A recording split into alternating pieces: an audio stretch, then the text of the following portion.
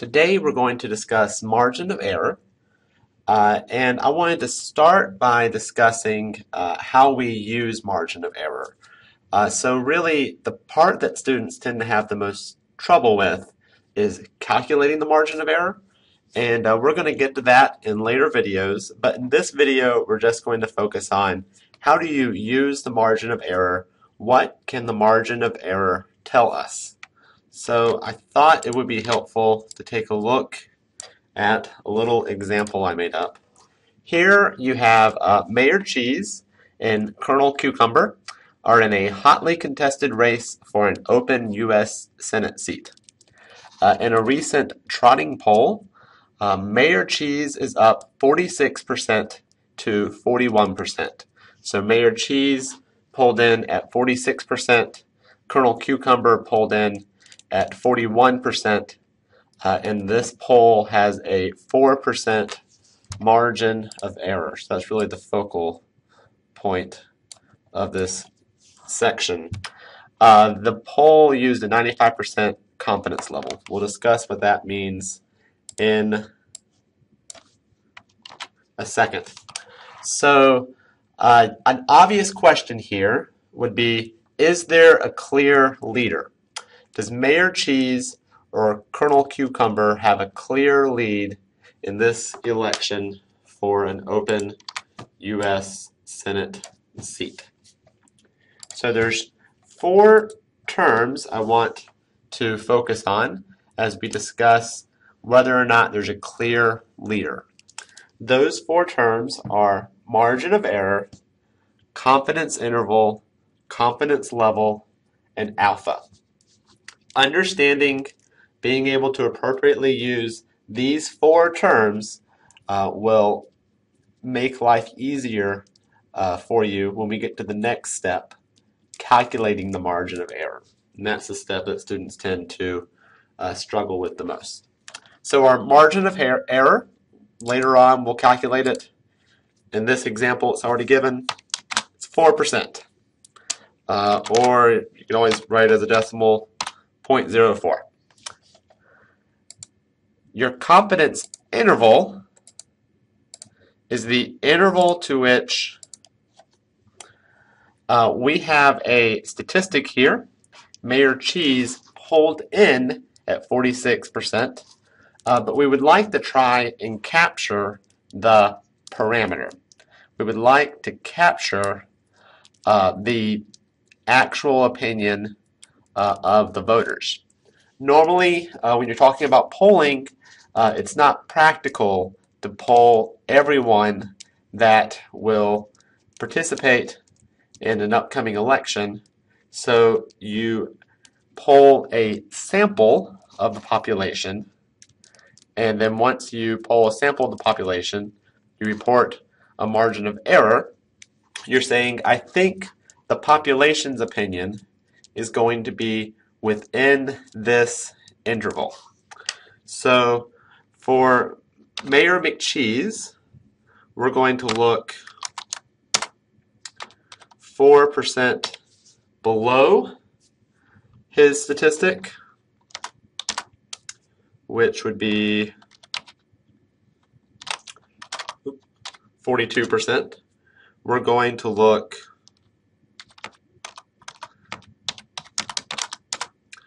4% above, which would be 50%, we can use this information to construct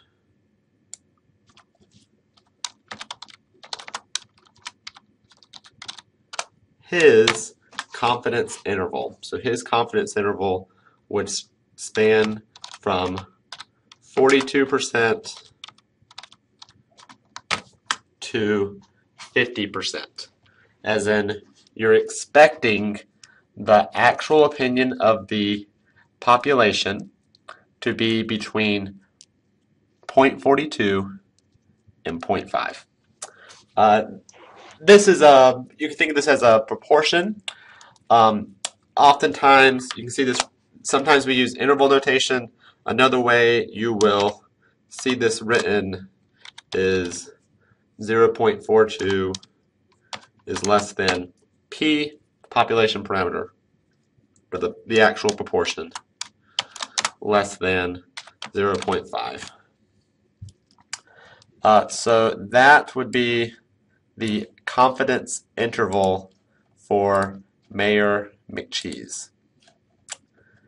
As for his challenger, Colonel Cucumber,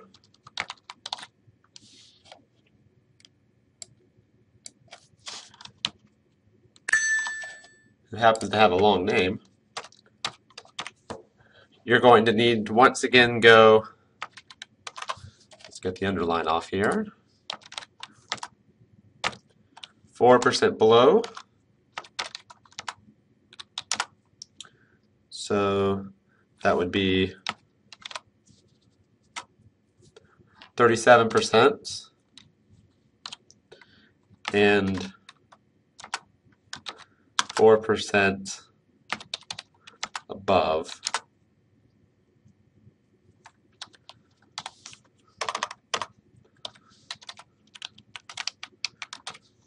And let's turn the underline off.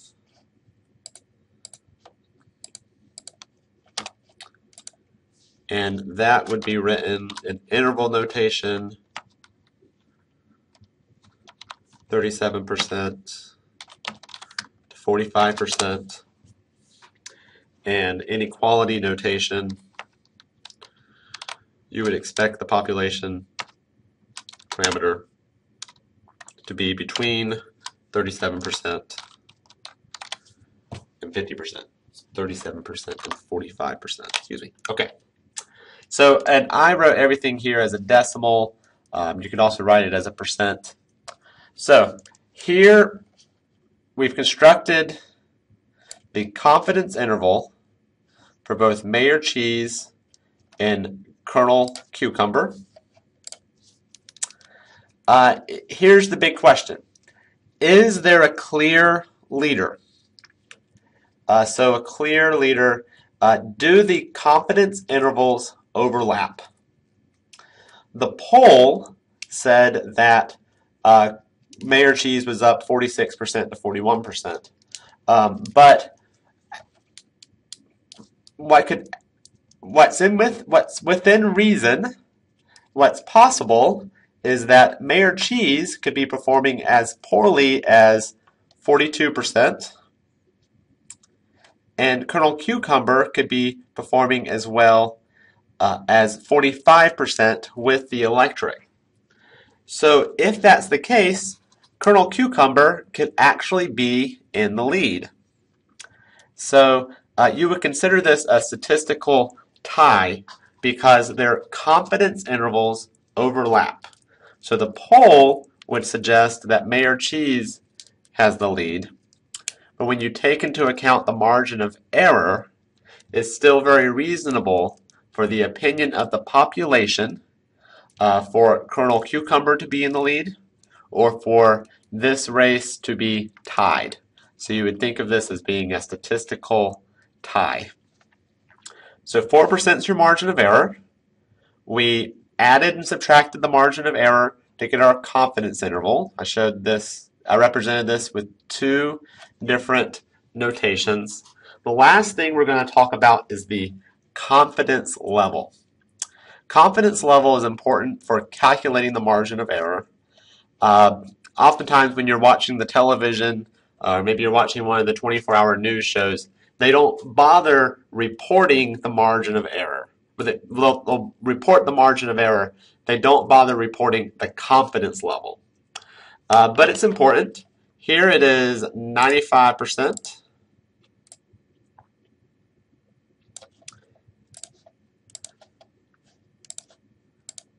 As you can see. And we need to know the confidence level to talk about alpha. So confidence level, uh, we are 95% confident that the opinion of the population uh, would be between uh, 0.42 or 0.5. Or we're 95% confident that at this point, between 42 and 50% of the electorate will vote for Mayor Cheese, and between 37 and uh, 45% will vote for Colonel Cucumber. Keep in mind, 95%, that is, uh, as a fraction, that is 19 over 20. So one in every 20 times we perform a poll like this, we're expecting to get the parameter wrong. We're expecting the parameter to fall outside our confidence interval. So uh, polling companies during uh, election season that are doing dozens and dozens and dozens of polls, they're using a 95% confidence level, which is very common. Uh, one in every 20 of their polls you would expect to be completely wrong. Alpha, which is going to be a tool that we use in calculating the margin of error.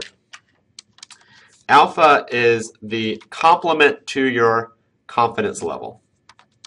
So your confidence level will always equal 1 minus your alpha.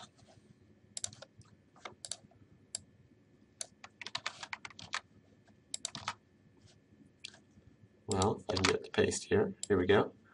1 minus your alpha. So in this case, your alpha